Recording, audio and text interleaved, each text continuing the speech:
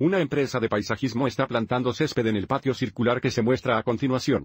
Determine la cantidad de hierba en pies cuadrados necesaria para el patio. Para determinar la cantidad de hierba, necesitamos encontrar el área del círculo, donde el área de un círculo es igual a pi r al cuadrado donde r es el radio. Lo que significa que el primer paso es determinar el radio del círculo y observar cómo se nos da el diámetro, o el diámetro es la distancia a través del círculo que pasa por el centro.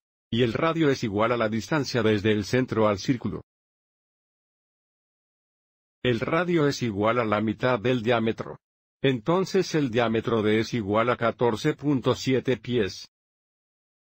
Entonces el radio R es igual a 14.7 pies dividido por 2, lo que equivale a 7.35 pies. Y ahora que tenemos el radio, podemos determinar el área del círculo que dará la cantidad de hierba en pies cuadrados necesaria para el patio.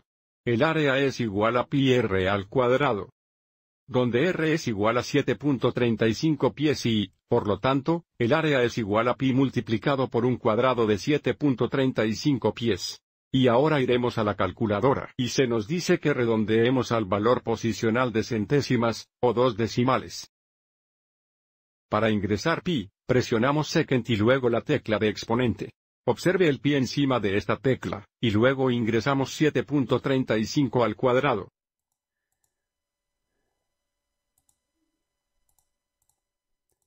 Para ingresar el exponente de 2 o para cuadrar esto, podemos presionar la tecla X al cuadrado y luego Enter. Y observe cómo hay un 6 en el tercer decimal y, por lo tanto, redondeamos. El área es de aproximadamente 169.72 pies cuadrados.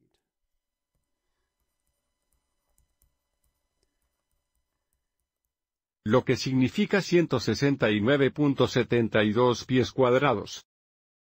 De hierba se necesita para el patio. Espero que hayas encontrado esto útil.